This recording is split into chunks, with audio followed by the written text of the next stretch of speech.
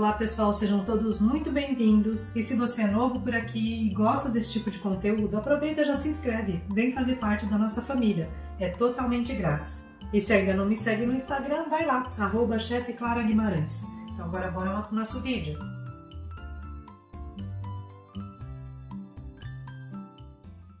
Tenho aqui na, na minha panelinha 200 ml de água. Nesses 200 ml de água, eu vou hidratar dois sachês de gelatina sem sabor e incolor, tá? Então, hidrata primeiro.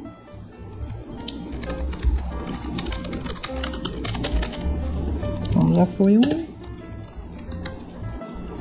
Então, agora o segundo aqui, ó. Faz assim o chuveirinho para não empelotar nada, tá? E aí nós vamos deixar essa gelatina aqui por 5 minutinhos, tá? Hidratando. Então eu volto já. Bom, gente, então veja que a gelatina já hidratou completamente aqui, né? Fica firminho assim. Então eu já acendi o fogo aqui. E aí, pessoal, eu vou mexer agora só até virar líquido. Não pode deixar ferver isso aqui, tá bom? Bom, viu que já derreteu, né, a gelatina toda não abriu fervura, ela já está completamente líquida. Então agora eu vou acrescentar meia xícara de açúcar. E vou mexer só até dissolver o açúcar aqui e já apago o fogo, entendeu? Então em nenhum momento essa calda vai ferver. Olha aqui já dissolveu. Então eu vou apagar o fogo. Ela vai ficar mais cristalina depois que ela descansar, tá? Porque aqui ela tá cheia de espuminha, né? Ó. Então é um líquido mesmo, não ferveu, tá bom, pessoal? Então eu volto quando a calda estiver fria pra gente já iniciar o banho das frutas. Bom, gente, então tá aqui a calda já fria, tá? Ela não tá gelada, gente. Ela, tipo, acabou de esfriar agora. Então, você põe na pele assim, você vai sentir, tipo, a temperatura do seu corpo, assim, vamos imaginar, tá? Ela não pode ficar fria, é, gelando, porque senão aí ela já fica grossa e você não consegue banhar, tá? mas também não é morna nem quente. Então, tipo, acabou de esfriar agora, eu já inicio o meu banho imediatamente, tá bom? Então aí você escolhe as frutas que você quiser, ó. Se for uva, você vai cortar em cachinhos pequenos assim, tá vendo? Ó, pequeno. E aí você vem simplesmente e banha. Prepara uma base é, com um pouquinho de óleo, tá? Essa travessa aqui eu passei uma fina camada de óleo. Mas olha aqui, gente, ó, que já aparece o brilho. Olha que coisa linda. Ó, pode banhar duas vezes assim para pegar bem, né? Porque a calda acabou de esfriar. Então aqui você já deixa descansando aqui, tá bom? Então tem que passar esse óleo aqui, senão gruda. Então eu escolhi duas qualidades de uva aqui e morango. Eu prefiro fazer com a mão mesmo, viu, gente? Nada de garfinho, essas coisas, porque nesse caso aqui é a forma mais fácil que tem, tá?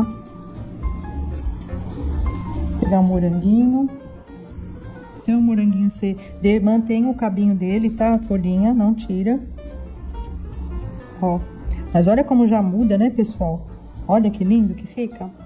Então eu vou banhar todos aqui, pessoal, e depois eu volto com tudo banhadinho já para vocês verem, tá bom? Pronto, gente, já banhei tudo aqui, é bem rapidinho, tá? Caso você tenha muitas frutas para banhar e a calda engrossar muito, você pode levar um pouquinho no micro-ondas, tá? Para ela afinar de novo, mas aí você põe 5 é, segundos, assim, bem rapidinho, só para ela dar uma afinada, tá? Gente, para vocês perceberem o efeito que isso faz na fruta, até deixei uma aqui sem banho, pra pôr perto aqui, para vocês verem, ó. Olha a diferença, gente. Fica muito lindo, ó. E é um efeito melhor que a geleia de brilho, né? Porque a geleia de brilho, dependendo da fruta, ela escorre, ela não fica, né? Essa aqui vai secar, vai ficar bem sequinho e a gente vai colocar no bolo. Além de aumentar a durabilidade da fruta, é uma outra beleza, né, gente? É outra aparência, né? Olha lá que lindeza. Olha só, pessoal, apliquei aqui as minhas frutas nesse bolo rústico e olha que coisa mais linda que ficou, hein? Gente, essa decoração pode ser usada aí para várias ocasiões, né?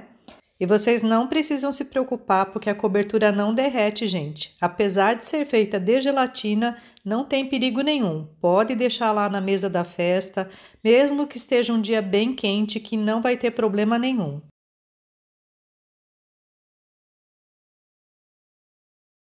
Vou mostrar para vocês aqui um pouquinho da apostila de recheios para bolos, onde vocês vão aprender, inclusive, as quantidades que você deve usar aí quando for rechear um bolo, diferença entre recheio para bolo de pote, recheio para bolo de festa e muito mais. Ao todo, são 30 receitas testadas e aprovadas.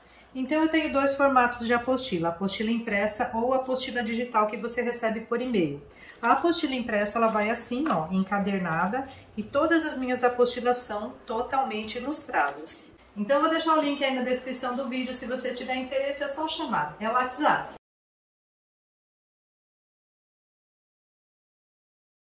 Então, espero que vocês tenham gostado desse vídeo. Se gostou, já sabe, deixa aquele like aí para ajudar o canal. E comenta também, gente, porque cada vez que vocês deixam um comentário nos meus vídeos, o YouTube entende que vocês estão gostando, que estão engajando, e ele vai entregar esse vídeo para mais pessoas, ajudando então o canal a crescer mais. Um beijo para vocês e até o próximo vídeo.